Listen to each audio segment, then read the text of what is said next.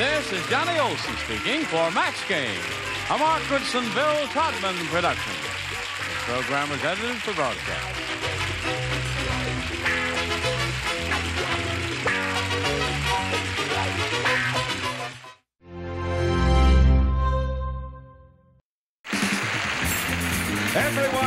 Arena has a money stake in one of our famous couples. Rooting section number one has its money on Gavin MacLeod and his wife, Patty. Rooting section number two backs Alan Ludden and his wife, Betty White. Rooting section number three is betting on Pat Harrington and his wife, Marjorie. As we play the game of celebrity gossip, Tattletales. And here's the star of Tattletales, Bert Convy.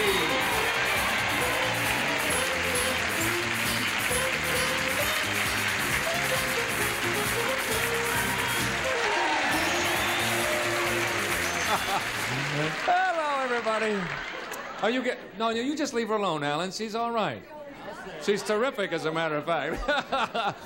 Thank you. Welcome to Tattletales. Our audience is here, divided into three sections. Going to root for each one of our celebrity couples, and uh, our celebrity couples are all dressed terrifically today, um, uh, with one notable exception, perhaps. Uh, Pat, I didn't think you were. Uh, didn't think you were going to wear those check pants today. Oh, oh, you talk about a guy who blows a line. How come you The wore those line- pants I, I didn't think you were going to wear those pants today. I didn't think you were going to wear those pants today. Why? Did you think they were checked? Good night, folks. That's all. We rehearsed that for a week. Ladies, will you sit out here in front and you get in the back? And we'll start the first round of Tattletales in just a minute.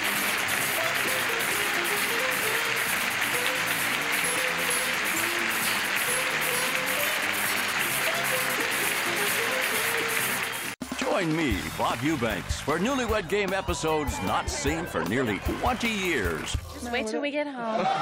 Every day at 3 on Buzzr.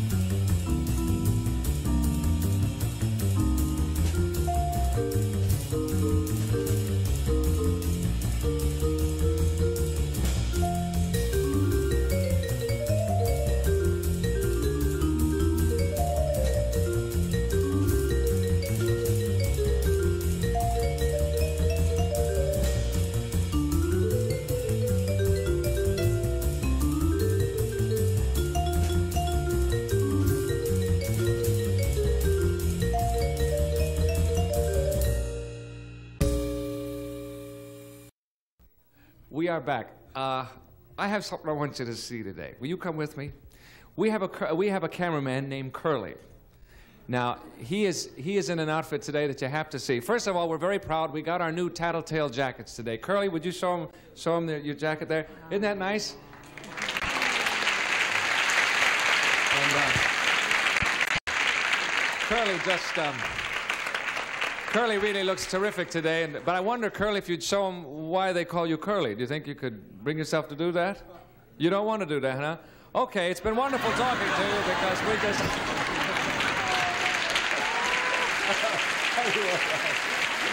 Are you okay? what a terrible thing to do. Now I'm going to take this off, too. Now, how about the rest, folks? Thank you, Carol. I'm sorry. I just couldn't resist.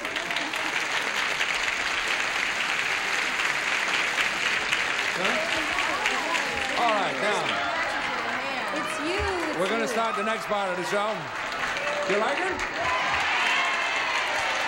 Well, all right. I think I'm going to keep it on then. Let's meet our folks before we run out of time, shall we? First, we have Marge and her husband, Pat Harrington. Yes. Next to Marge and Pat is Betty White and her husband, Alan Ludden. Betty, What's going on out you are there? hosting. Uh, you are hosting the Patsy Awards tonight. Tonight, We want everybody sir. to be sure and watch that. The best performing animal actors in the business. Yes, and and Betty's going to be there show. too, yeah. And next to Alan and Betty is Patty and Gavin MacLeod.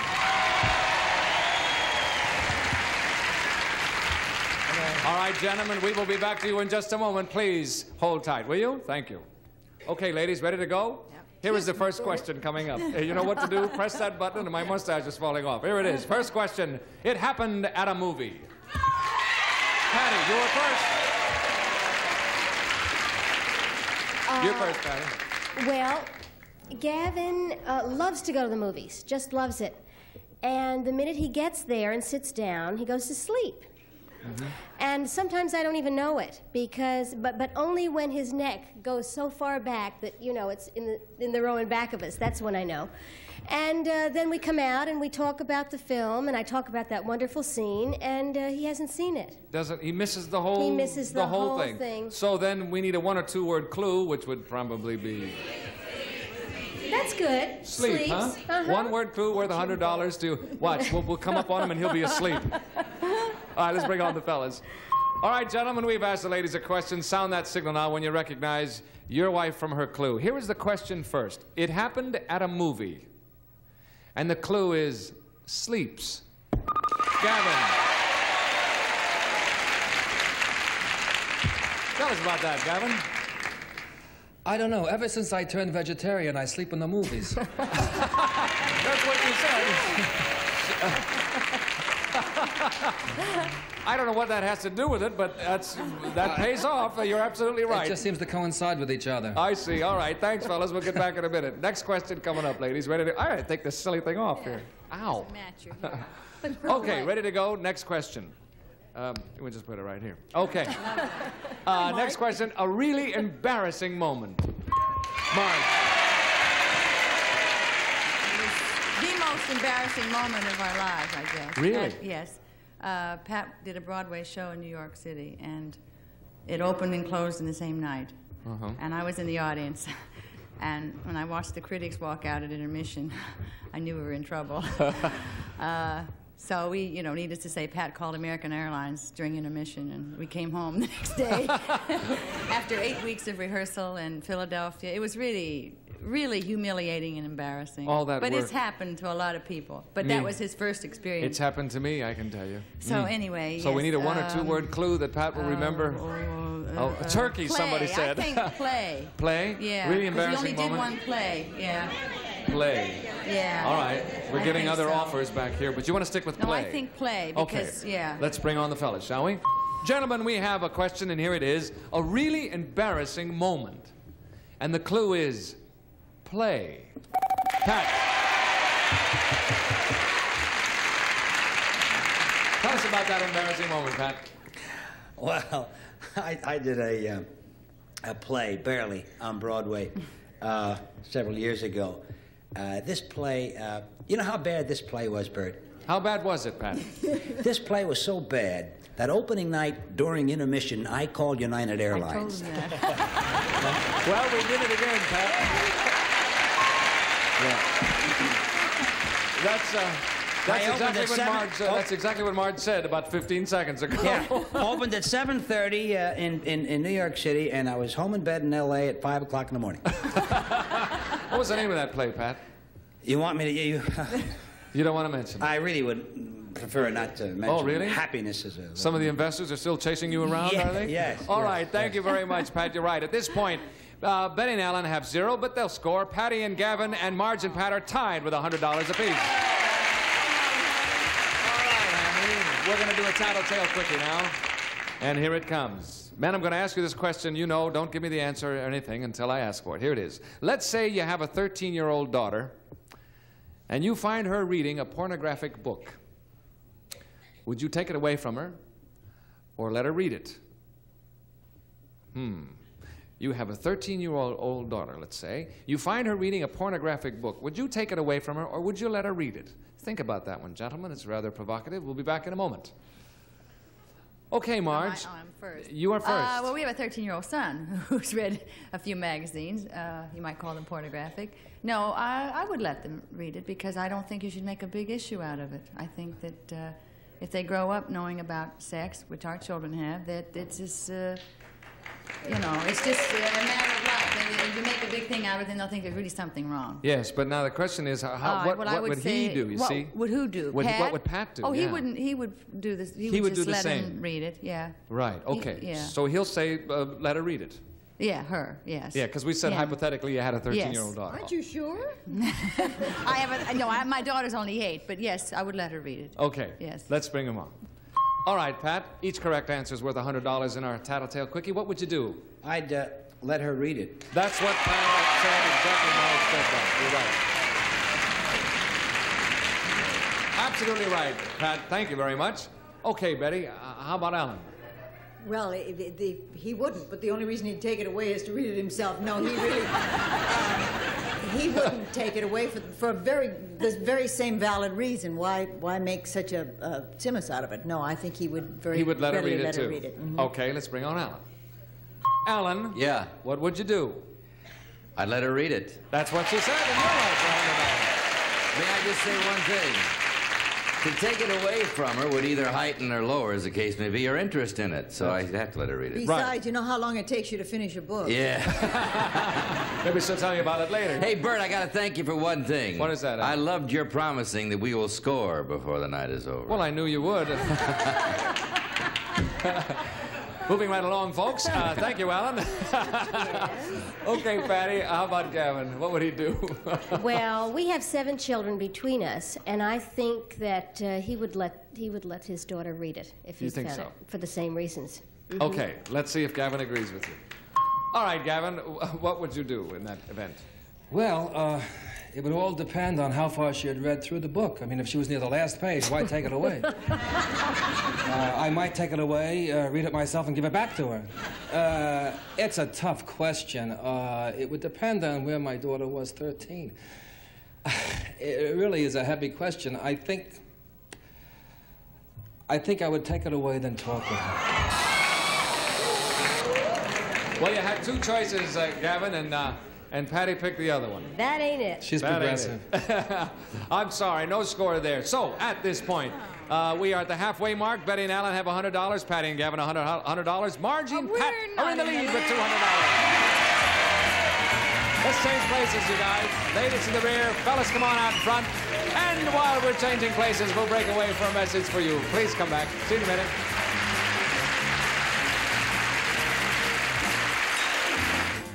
Don't flip your lid. Buzzr's Big Wig Day Marathon returns after this. Stay tuned.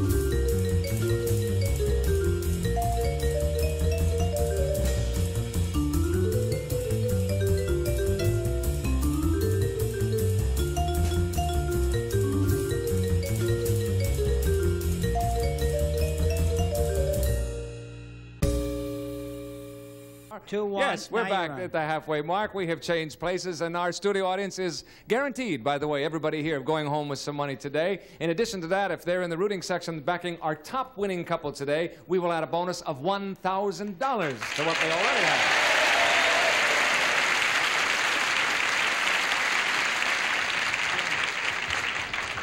Are you making signals to the audience, Pat? No, I'm just talking to uh, several of the people in the Marjorie and Pat group. Yes.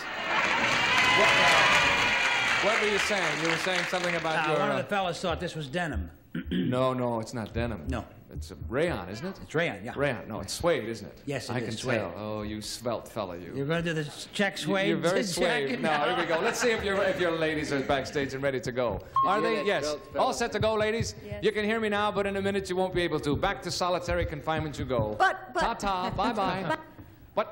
Bye bye. What? Okay, fellas. All right. Ready to go? Yeah. Here goes. One question. Hands on the table. Keep your hands on the table, Mr. Levin, sir, if you don't mind. Got to watch him every minute. Oh, no, no. First question. Here it is. It happened while you were working.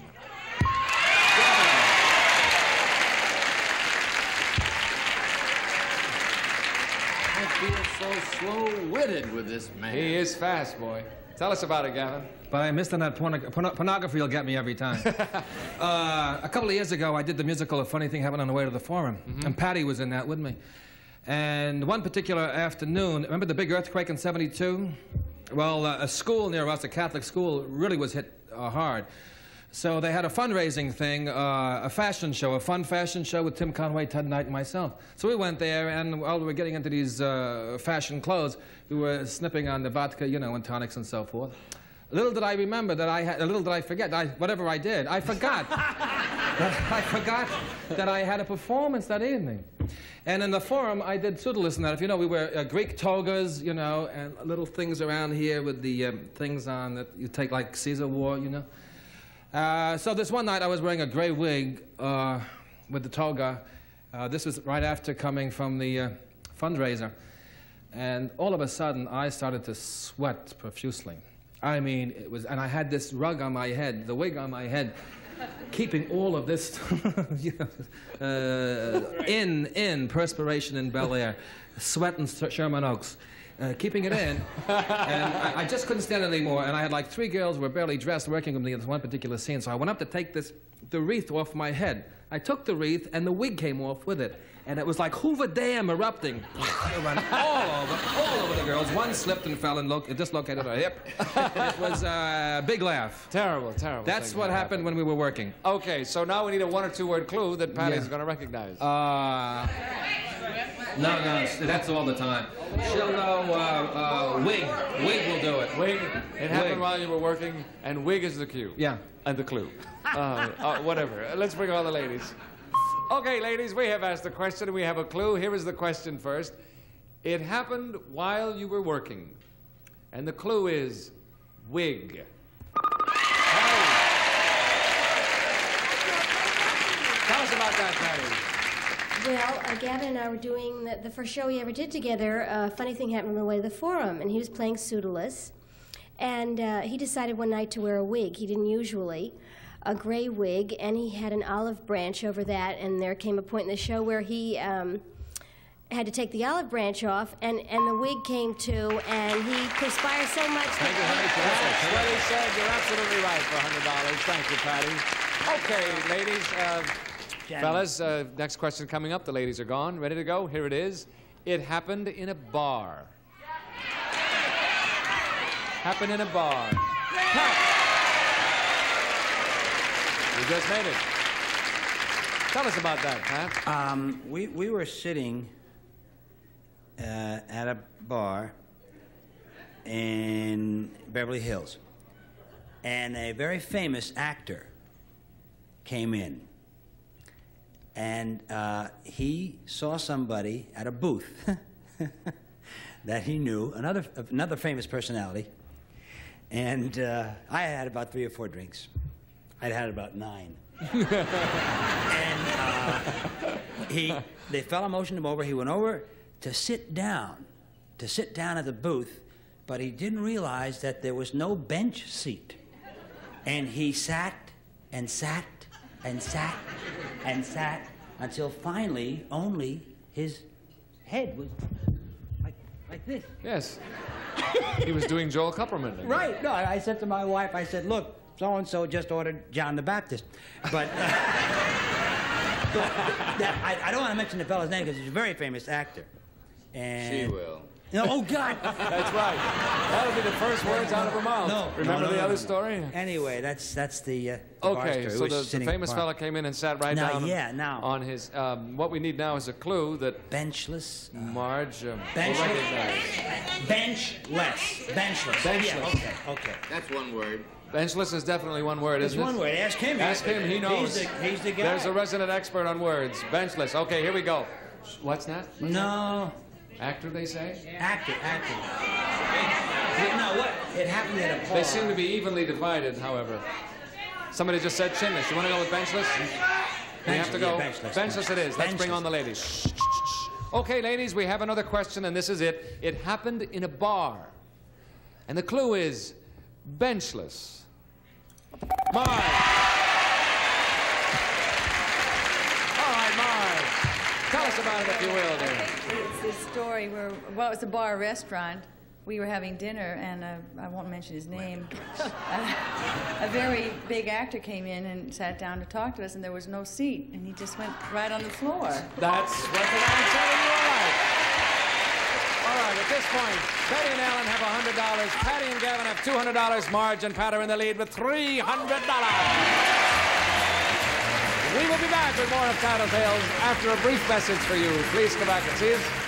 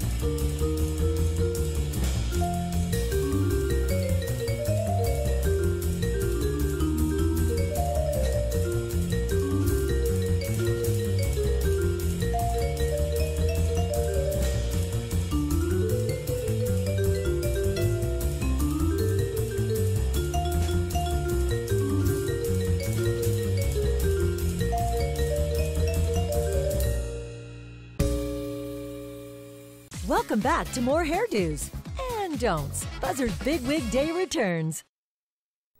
Okay, we are back to play a Tattletale. Quickie, good close game, too. Can you hear me, ladies? Yes. I'm going to ask you this Yes. question now, and don't give me the answer until we ask for it. Here's the question Ladies, you go to a health resort, and you have your choice of a massage by a man or a woman.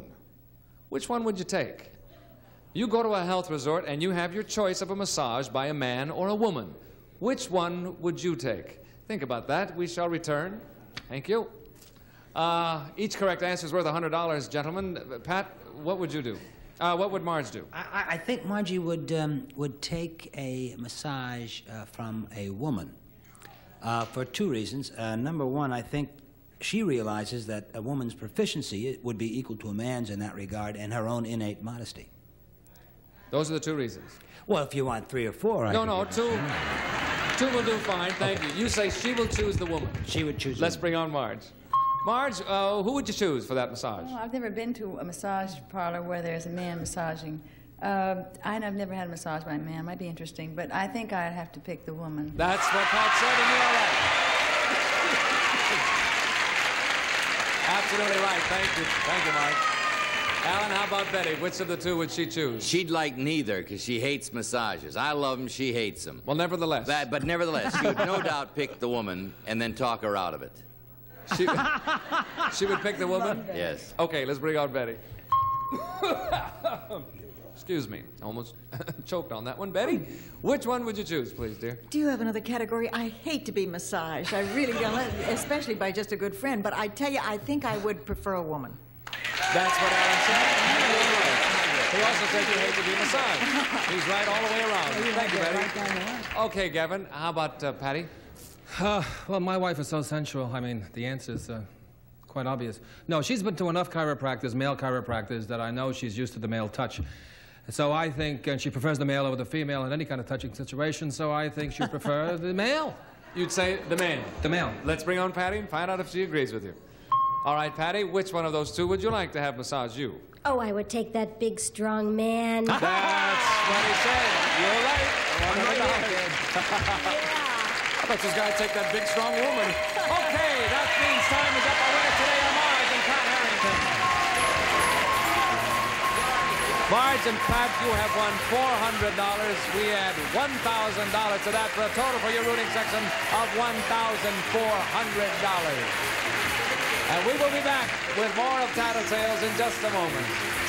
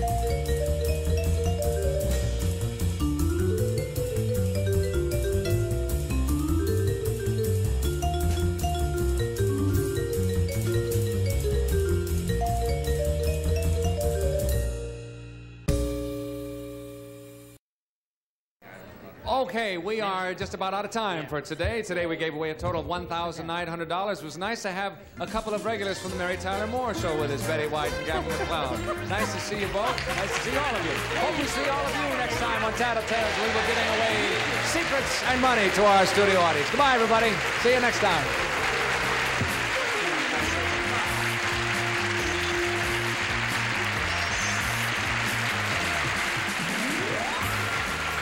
This is John Harlan speaking for Tattletales, a Mark Goodson, Bill Todman production.